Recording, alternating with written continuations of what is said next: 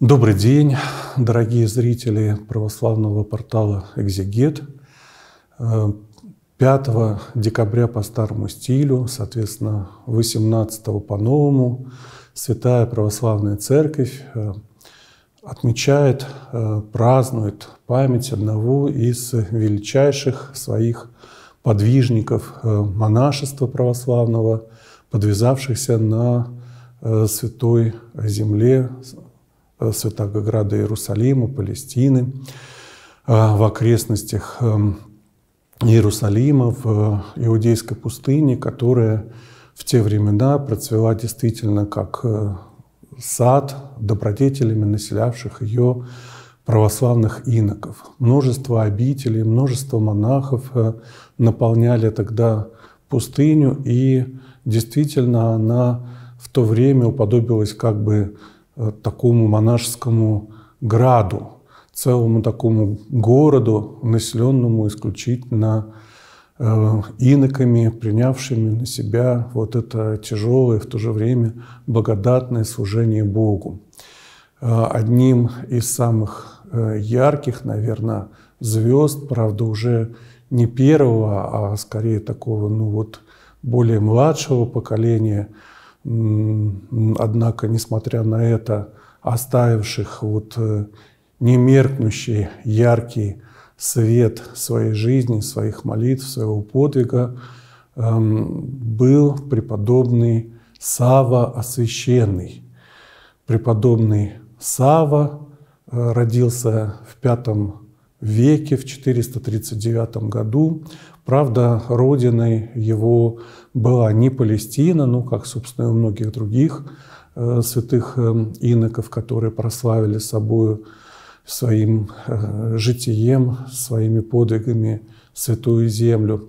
Он происходил из селения Муталаска, находившемся в Каппадокии, э, в Малой Азии, на территории современной Турции – и происходил из э, такой достаточно богатой, обеспеченной семьи. Отец его по имени Иоанн Конан был э, военачальником, э, делал, так сказать, военную карьеру, что, в общем, тогда тоже в Византийской и в Римской империи было вполне делом таким почетным и уважаемым. Мать его, София, зачастую вынуждена была следовать за отцом, и поэтому их сын Сава оказался э, долгое время на э, попечении своих родственников. Однако, поскольку семья была достаточно богатой, и Савва являлся наследником довольно большого состояния, его родственники начали постоянно припираться и ссориться между собой для того, чтобы ну, получить опекунские права в том случае, если отец, находящийся на воинской службе мальчика, погибнет. И, в общем-то, поскольку и так они получали достаточно э, неплохие доходы с э, этих вот имений, которые принадлежали родителям отрока и которые были доверены их управлению, то, в общем-то, это вызывало в семье постоянно такие нестроения – Юный отрок уже тогда тяготился всяческой немирностью и э, сделал то, что он впоследствии неоднократно вынужден был делать на протяжении всей своей жизни для того, чтобы сберечь и свой собственный внутренний духовный мир, и мир своих ближних. Он покинул свой дом тайно и убежал для того, чтобы скрыться в монастыре. Но при этом монастырь для него являлся не просто каким-то таким убежищем от семейных дрязг и склок, а действительно тем местом, которому он хотел э, целиком и полностью посвятить свою э, жизнь и деятельность своей души. И так получилось, что в возрасте всего 8 лет преподобный Сава уже вступил в монашество. Можно сказать, что святой Сава с детства был монахом. Это один из, наверное, в церковной истории редких таких случаев, когда э, по преданию иноческого пострижения святой Сава сподобился в возрасте всего 12 лет. В принципе, пострижение таких э, юных фактически детей, отроков, ну, никоим образом не входило в правила, в традиции православной церкви, являлось чем-то таким из э, ряда вон выходящим. Но святой Сава был настолько уже, в общем-то, в свои детские годы эм, совершенным монахом, стремившимся к эм, стяжанию добродетелей монашеских и действительно много успевший достичь на этом поприще, несмотря на свой такой ранний возраст, что над ним было совершено вот это иноческое пострижение, и в обители святого Флавиана в Каппадокии святой Савва подвязался до 17 лет. Пять лет спустя своего пострижения он возгорелся желанием отправиться на поклонение святыням Иерусалима э, и Святой Земли, и спросил благословения у игумена, и отправился вот в такое паломничество на Святую Землю. Из этого паломничества он уже более не вернулся в Каппадокию, поскольку, услышав о великом наставнике э, иноков Палестины и о таком столпе исповедания православной веры посреди многочисленных сотрясавших тогда православную церковь ересей, каких-то нестроений, лжеучений, которые во множестве ее обуревали. Вот э, таким строгим поборником православия и иноческих уставов был величайший подвижник Святой Земли, преподобный Ефимий Великий, э, недаром и не случайно носящий столь высоко отличающее его наряду с некоторыми другими святыми звания, э, которому он удостоился за э, то, что действительно воспитал огромное количество великих подвижников, был для них отцом, примером, наставником. Но поскольку святой Сава был еще молод, у него не было бороды, то преподобный Ефимий, который безбородых и юных в свой обитель не брал, отправил его под начало к своему ученику и сопутнику преподобному феоктисту э, в ущелье, которое называется Вади-Ок, э, в память о древнем библейском языческом царе, который э, погиб в результате завоевания Святой Земли двенадцатью коленами Израиля. Вот в этом ущелье, где некогда совершилась бесславная гибель этого языческого царя, э, теперь э, на его склонах процвела обитель преподобного Феоктиста. В ней святой Сава продолжил свое обучение э, великому искусству иноческой добродетели. Когда он укрепился и впитал вот устав, которому следовали палестинские монахи, то святой Ефимий, который не забыл вот этого необычайно духовно одаренного юношу, отправленного им к своему ученику и соратнику Феоктисту, и начал приглашать его в свою обитель. Более того, включил его в число своих э, избранных таких вот учеников узкого круга, самых близких к нему подвижников, с которыми вместе он проводил Великий пост в совершенно таком исключительном, особенном подвиге.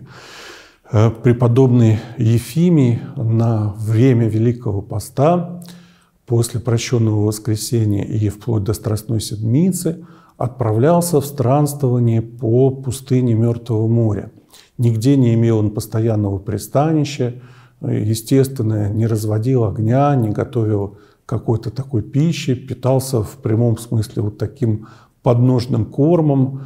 И это, конечно, было очень таким тяжелым, трудным испытанием. Надо сказать, что вообще вот эта вот пустыня, окружающая собой Мертвое море, это одно из, на самом деле, самых и до сих пор опасных мест не только в Палестине, но и вообще э, сравнительно с вот другими опасными местами на Земле. Это очень коварное такое место.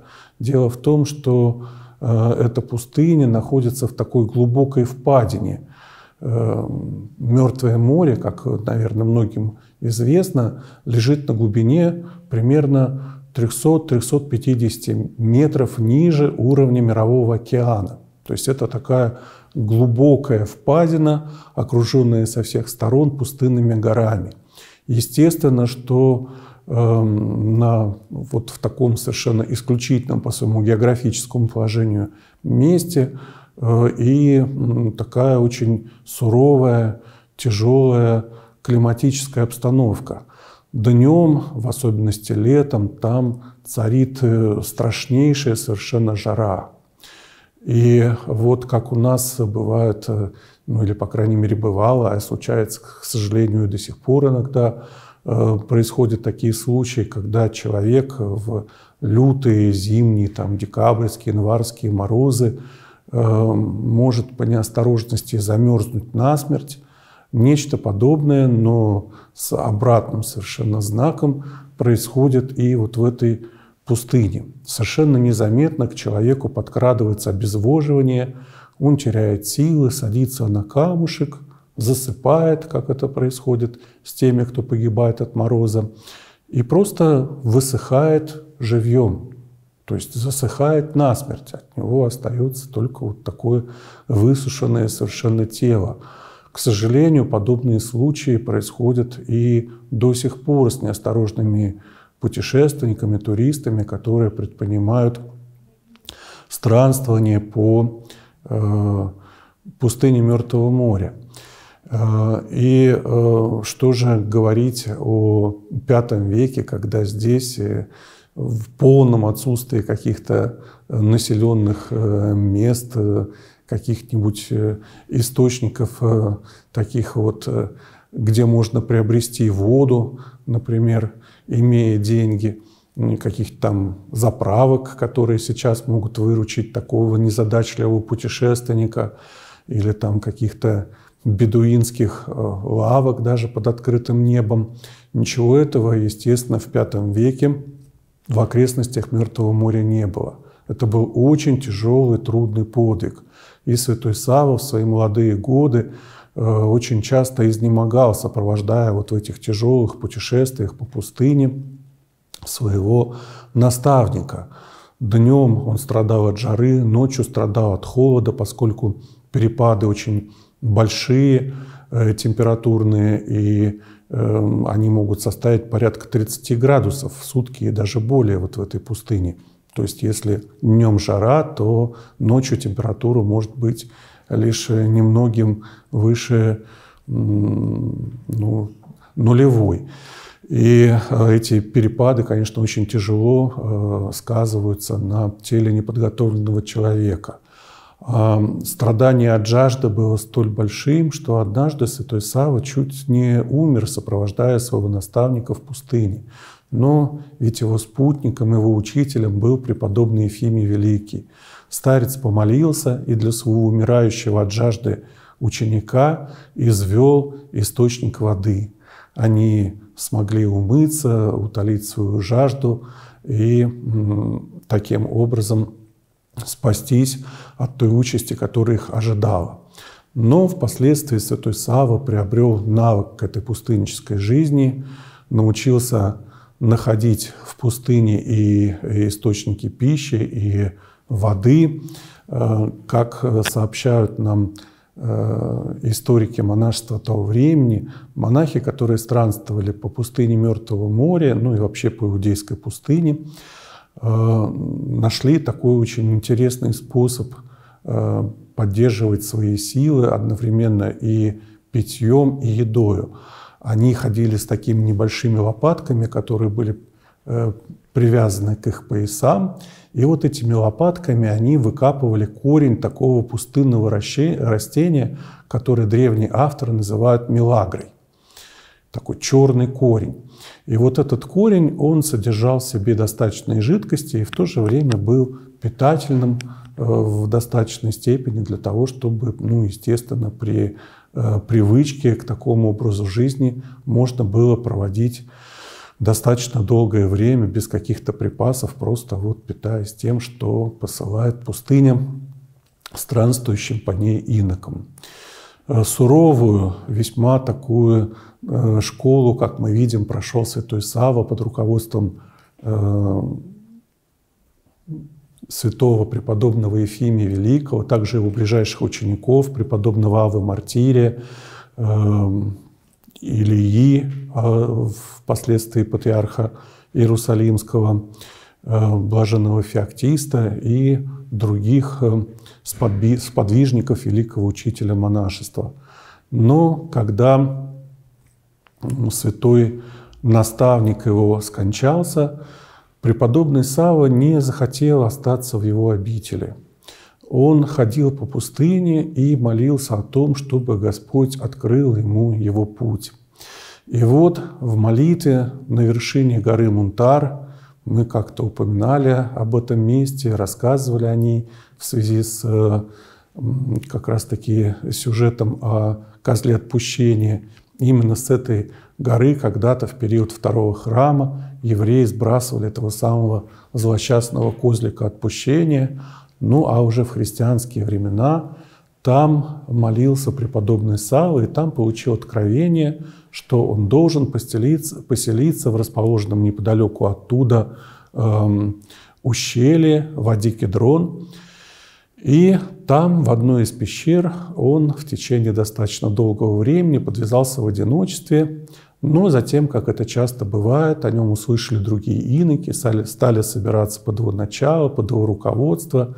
И вот так возникла святая, знаменитая обитель, которая э, одна из вообще немногих православных обителей в мире никогда не закрывалась начиная вот с времени своего основания в конце V века и вплоть до наших времен. Никогда молитве преподобного Савы э, иноческая жизнь в этом ущелье, в основанной им лавре, не прекращалась.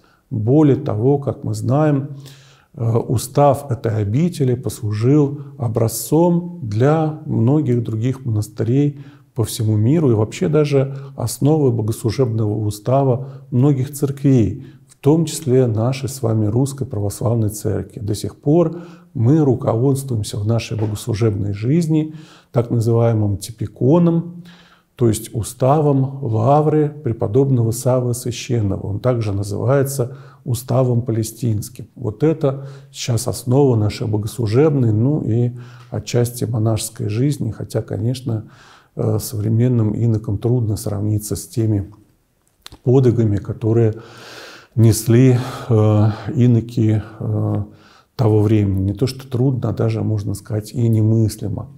И вот постепенно вокруг святого Савы собралась огромная обитель.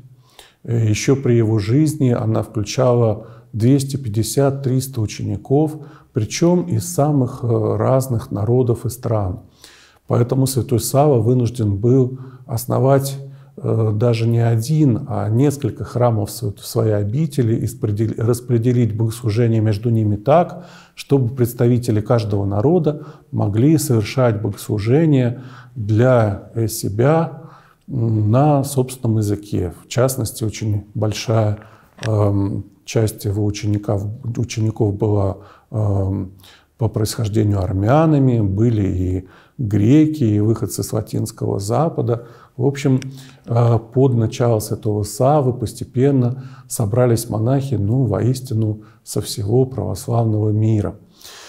Э, естественно, что потребовался и устав, и потребовались и какие-то э, строения, строительство, потребовалось создать новые храмы. И святой Сава молился о том, чтобы Господь помог разрешить ему вставшие перед его э, обителью э, сложности, проблемы. И Господь чудеснейшим совершенно образом помогал своему избранному подвижнику и э, святому. Так столб огненный указал в видении святому Саве богозданный храм. Удивительным образом открылась пещера достаточно просторная для того, чтобы в ней был создан храм, способный вместить ну, значительную часть иноков обители Святого Савы. Сейчас главный э, престол этой богозданной церкви посвящен святителю Николаю. архиепископу Мирликийскому чудотворцу, память которого совершается буквально на следующий день после памяти святого Савы. До сих пор эта обитель носит название Богозданный, ну, поскольку действительно человеческая рука очень мало что привнесла вот в убранство и в строение, в устроение этого храма. Фактически это до сих пор так и остается э, пещера, как, которая она и была. И в этой пещере нашлось место и для церкви, и для ризницы, и даже для костницы. Там хранят кости монахов, которые подвязались в монастыре Святого Савы по вот такому вот восточному обычаю, к которому мы еще вернемся. И, э, ну, разве что, естественно, был сделан иконостас, престол, эм, иконы развешаны, стасиди, а так вот возникла такая э, церковь, э, которая до сих пор является вот богослужебным сердцем монастыря. Другим большим вместительным храмом Святой обители стал Благовещенский собор. Сейчас как раз таки именно там хранятся мощи преподобного Савва Священного. Э, на самом деле в лавре преподобного Савы сейчас 9 храмов. Но э, посетители, которым удается попасть в монастырь, как правило, могут оказаться только в Благовещенском соборе и в богозданной вот этой вот э, Никольской церкви. Остальные э, храмы обители небольшие и вот в основном служат исключительно для молитвы иноков, которые подвязаются в монастыре Святого Савы. Итак, Святой Сава таким образом решил, разрешил одно затруднение, которое стояло перед его монастырем. В помощь ему были посланные иноки, которые в миру были архитекторами, они-то и помогли обустроить эту святую обитель так, чтобы она могла вместить в себя достаточное число учеников святого Савы, которые должны были находиться под его непосредственным руководством. Но их надо было снабдить еще и водой. Сам святой Сава ходил на источник, который располагался примерно за 3 километра от его обители, привычно преодолевая это расстояние по э, опаленной зноем пустыне Мертвого моря. Э, в зимнее время по дну води Кедрон э, тек э, Кедронский поток, но это было только зимой. А в теплое же время года иноки испытывали большой недостаток в воде. И поэтому просили святого Саву, чтобы он как-то вот решил для них вот это затруднение, которое приносило им, естественно, очень много тягот и скорби. Святой Сава опять вооружился молитвой, и вот однажды, выглянув ночью из окошка своей пустынческой кели, он увидел, что на одном из склонов ущелья води Кедрон появился дикий ослик, анагра. И вот этот анагр бьет э, копытом по э, склону ущелья, а затем склоняет туда морду, и святой Савва догадался, что анагры приходят сюда для того, чтобы пить из какого-то неведомого источника воды. Он возблагодарил Бога за это открытие, пришел э, к этому месту, расширил его собственными трудами, руками и нашел небольшую пещерку с такой как бы вот э, естественной чашей, в которую капала со сводов вода и наполняла в течение какого-то времени достаточно большой вот такой вот эм, объем, которого хватало, ну, по крайней мере, для того, чтобы иноки монастыря Святого Савы могли утолять свою жажду. До сих пор этот источник получил название Агиасмы, то есть святыни, святой воды, святого Савы. Эту воду иноки до сих пор поднимают флягами по такой специально сделанной лестнице э, в свою обитель, э, пьют ее за трапезы, она очень вкусная, сладкая, и наливают ее тем паломникам, богомольцам, которые приходят в их святую обитель стараясь так, э, чтобы ни одна капля не пропала даром. Конечно, для нужд монастыря требовалось э, со временем много воды и такой технической, были устроены специальные такие цистерны, в которые собирается дождевая вода, и хранится. Сейчас в монастыре там порядка 25 вот таких больших цистерн, которые снабжают обитель такой водой, ну что ли, технической. При этом потребность в воде в монастыре у иноков традиционно небольшая. До сих пор по заветам святого Савы монахи монастыря никогда, э, ну как и иноки Афона, не омывают свое тело. Никаких бань, душей, ничего подобного до сих пор в этой обители нет. По немощи игумен разрешает только некоторым вот современным инокам, которые, конечно, непривычны к таким суровым условиям подвига, обтираться, э, обтирать свое тело мокрыми влажными полотенцами, но это единственная в этом плане роскошь, которая им позволяется. Поэтому расходование вот воды идет и до сих пор в монастыре очень так экономно, и, по крайней мере, вот этого источника гиасма Святой Савы хватает до сих пор для того, чтобы снабжать подвязающихся там монахов питьевой водой и угощать ею паломников. Святой Сава, э, конечно, с не без трудов и скорбей руководил собранным им братством. Естественно, в таком большом монастыре возникали и какие-то нестроения, и сложности. Так что святому Саве приходилось э, для того, чтобы дать э, место человеческой злобе, покидать созданную им самим святую обитель. Э, ну, во-первых, он придерживался опыта, которого получил со своим наставником, святым Ефимием, и во время Великого Поста удалялся странствовать по пустыне. Однажды в, во время одного из таких странствований он упал в яму, наполненную какими-то такими горячими вулканическими извержениями, которые называют смолой.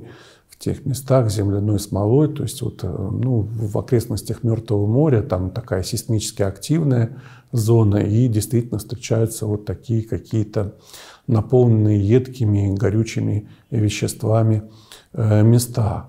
Э, он с трудом выбрался из этой ямы, лицо его оказалось навсегда обезображенным.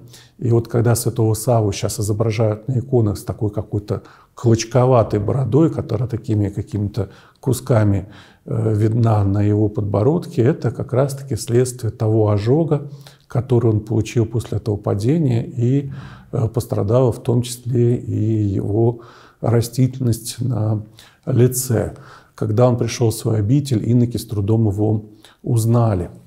А, другой причиной оставления преподобного своей обители было то, что, к сожалению, среди его иноков распространились всевозможные ереси и лжеучения. Хоть святой Сава и старался брать в свою обитель только таких монахов проверенных, э, твердых в благочестии, однако с увеличением их числа появились и вот такие вот плевелы. В то время в церкви очень распространились лжеучения, которые восходили к такому учителю церковному Оригену.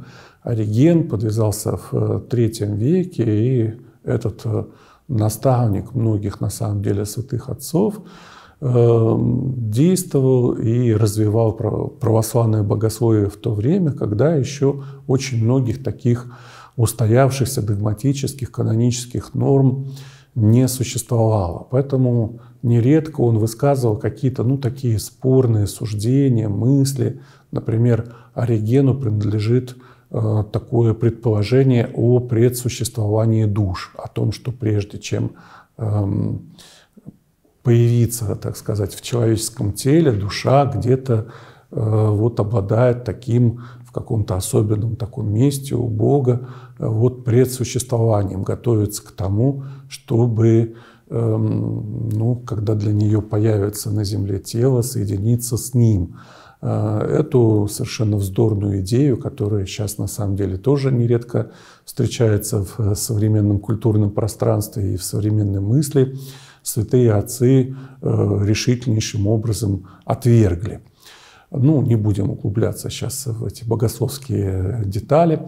А другим таким ложным э, учением Оригена было учение о так называемом апокатастасисе, о том, что Господь не может позволить погибнуть никому из созданных им существ, и поэтому после страшного суда как бы пересоздаст этот мир, благодаря чему даже падшая Деница опять будет восстановлена в своем ангельском достоинстве, и таким образом совершится спасение всех, без исключения людей на земле. Вот такое прекраснодушное, но очень далекое, к сожалению, от э, православного взгляда на этот вопрос учения высказывал, к примеру, Реген. Эм, некоторые даже маститы богословы в современное нам время э, пытаются высказывать сходные мысли и идеи вот о таком э, легком, без трудов, без усилий, а главное, без проявления собственной воли, спасении одним мановением вот этого божественного апокатастасиса, восстановления. Вот э, масса таких умствований каких-то и э, идей, почерпнутых из трудов Оригена, бродила в то время в, мона... в умах э, тех, кто называл себя христианами, и даже более того монашествующими. Это вызывало постоянные споры, разногласия, монахи вместо того, чтобы подвязаться в молитве, добродетели, выясняли между собой э, богословские вопросы, ну и по горячности, свойственные Востоку того, да и нынешнего времени, нередко доходили до кулачных разборок в решении своих богословских разногласий и диспутов.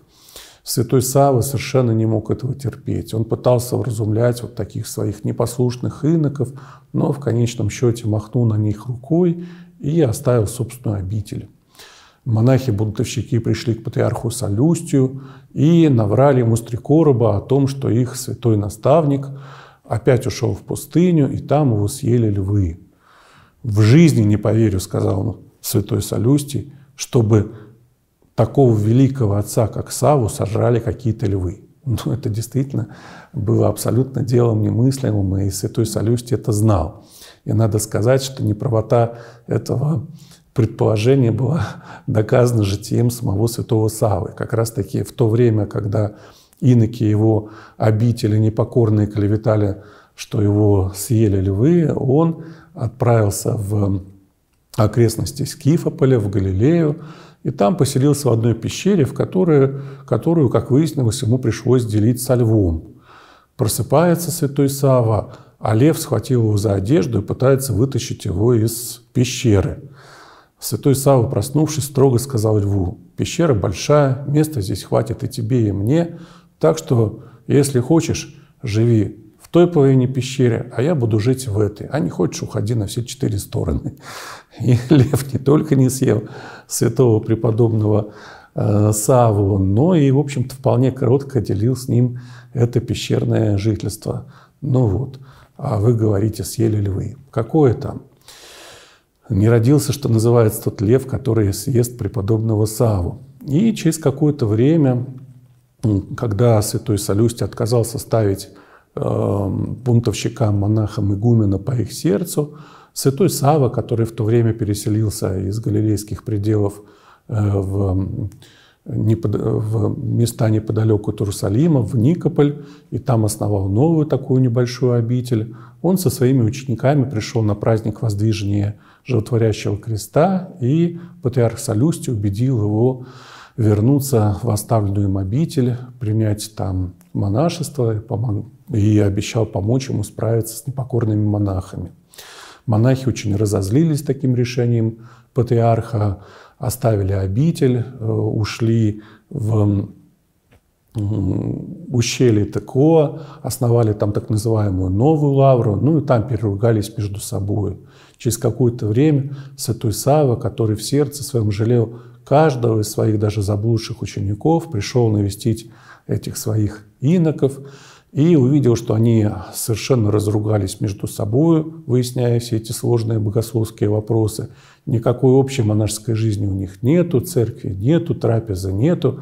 Сидят они по этим своим норам в ущелье, каждый как хомяк в, своей, в своем углу. Святой Савва пожалел их, остался с ними жить, стал их мирить, уговаривать, построил им церковь собственными руками, хотя им было уже 68 лет, построил им трапезу, и дав им новый устав, поставив им э, приличного игумена, оставил эту обитель, так что впоследствии в ней подвязалось также достаточно много православных подвижников. Вот такие были труды святого Савы, но ими не исчерпывалась его такая совершенно удивительная деятельность. На самом деле он создал целый ряд, там порядка, наверное, полутора десятков разных монастырей в, на Святой Земле, и э, число его учеников исчислялось тысячами. И когда потребовалось призвать их на защиту святого православия, то в 517 году для того, чтобы поддержать православного патриарха Иерусалимского Иоанна против еретиков, монофилитов, святой Сава вместе со своим другом, преподобным э, Феодосием Великим или Феодосием Киновиархом, привели в Иерусалим 10 тысяч монахов. Только э, храм э, соборный святого первомученика Стефана сумел вместить такое огромное количество учеников двух этих великих преподобных. Э, естественно, ясно, что далеко не все монахи оставили свое пустынное уединение, последовали за своими наставниками, и поэтому сказание поздних эм, Э, паломников, которые называют э, число 14 тысяч монахов, подвязавшихся в лавре святого Савы, кажется ну, в незначительной, может быть, степени преувеличенным. Не на порядок, не, не в разы.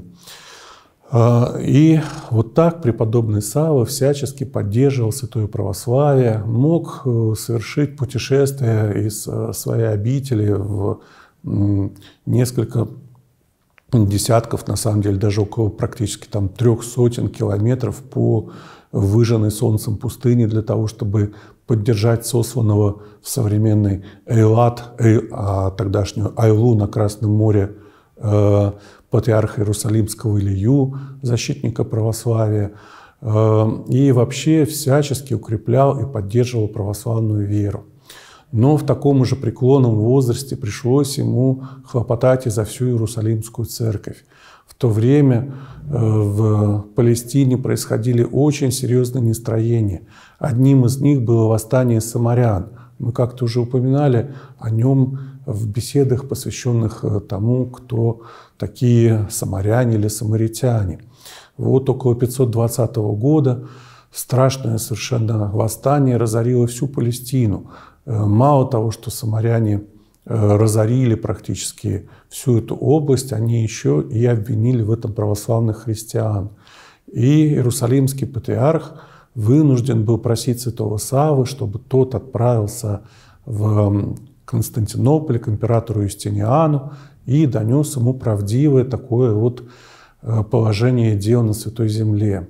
Святой Сава пришел в Константинополь хотя поначалу его даже не хотели пускать охранники в дворец, поскольку вид его был настолько потрепанным, он был одет в привычное для себя монашеское рубище, покрытое заплатами и прорехами, так что э, дворцовые стражники поначалу приняли его за какого-то попрошайку, но впоследствии он был с честью принят в дворце, императором благословил его и его семью, и своим мудрым словом добился того, что император возложил свой гнев на подлинных виновников конфликта самарян, снял тяжелое налоговое бремя с палестинских христиан и оказал помощь монастырю Святого Савы и множеству других разрушенных самарянами монастырей и церквей Святой Земли.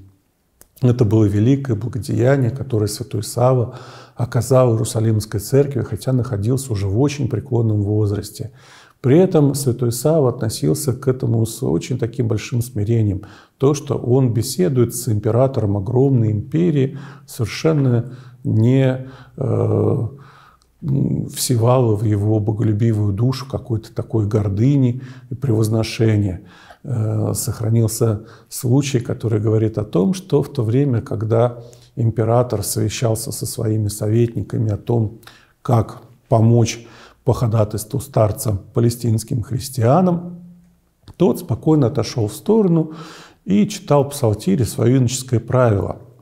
Сопровождавший его диакон спросил, «Отче, а чего же ты не хочешь принять участие в общем обсуждении, ведь оно касается тех вопросов, которые ты принес императору и задал, на что святой Савва спокойно ответил своему ученику, пускай они занимаются своим делом, а мы будем заниматься своим. И вернулся к чтению псалтири и творению э, своего такого постоянного молитвенного предстояния э, перед э, Богом. Вот такими были труды и подвиги этого великого святого. Молитвами преподобного Савы окрестности, прежде опасные, непроходимые, Мертвого моря не только по причине своего такого чрезвычайно жестокого климата, оказались очищены и от другой угрозы, которая приносила немало вреда жившим там людям и паломникам православным, а, от всевозможных демонических нападений. Так пастухи, которые пасли свои стада в окрестностях, обратились к святому Саве однажды с просьбой о том, чтобы он как-то помог им, потому что э, там, где они пасли свои стада, находилась гора, именуемая Костель. На вершине этой горы когда-то построил один из своих пустынных замков Ирод Великий. Это была его пустынная тюрьма. Там он э, держал заключение и мучил э, многих из своих э, врагов, пленников, даже в том числе собственных сыновей, которые в этом самом месте были преданы казни. И вот это место, уже будучи заброшенным, а, сделалось, естественно, обиталищем нечистых духов, которые всячески смущали своими нападениями, особенно по ночам пастухов, их стада, при этом даже наносили им физический вред и могли даже привести к смерти, гибели каких-то вот таких одиноких путников. Святой Сава, исполняя э, смиренно просьбу окрестных жителей, поднялся на вершину этой горы и всю ночь провел там в молении и в великом борении с нечистыми духами. Так что гора сотрясалась, пастухи пришли в совершеннейший ужас от того, что происходило, совершенно раздавались раскаты просто какого-то грома, как будто там идет великое сражение. И спустя три дня такого молитвенного подвига святой Савва Э, спустился с этой горы и сказал, что отныне она безопасна для пастухов и всех, кто проходит этими путями. А на ее вершине он основал один из своих скитов, одну из своих обителей, поставил там наиболее опытных из своих учеников для того, чтобы навсегда уже очистить это место от вот таких вот вражеских прирожений. Э, надо сказать, что еще в 20 веке Э, в этом Кастелеоне, в этом ските преподобного Савы, там подвязались э, иноки, монашествующие. Но э, как бы не были искушены трудами и подвигами телесные силы старца, однако и он вынужден был отдать общую всем дань. 5 декабря 532 года оплаканный своими учениками, великий преподобный подвижник святой Сава предал свою боголюбивую душу Богу, был погребен в своей обители, и э, место его погребения было отмечено таким особенным совершенно э, э, строением, часовней, которая сейчас восстановлена. Там находится, ну, уже, правда, пустой гроб святого Савы, но паломники, которые приходят в монастырь, поклоняются этому месту погребения святого, а также его мощам, которые сейчас э, находятся, лежат в Благовещенском, как мы говорили, храме Святой Обители. Ну а дальнейшей истории Святой Обители, которая тоже на самом деле была полна каких-то э, таких э, совершенно разных э, событий, и драматических, и трагических, и утверждающих э, веру православных христиан и о судьбе последующей мощей святого Савы, история существования и посмертного такого пребывания на этой земле, которых также была полна таких каких-то совершенно удивительных э, поворотов сюжетных и это таких вот перемен. Мы с вами уже, если вы э, сохраните интерес к этой теме, побеседуем в нашей следующей уже посвященный, посвященным нашим следующим, посвященным святой обители, известной как Марсаба, господин Сава, рассказе. Внеси свой вклад, оцени, подпишись и поделись этим видео.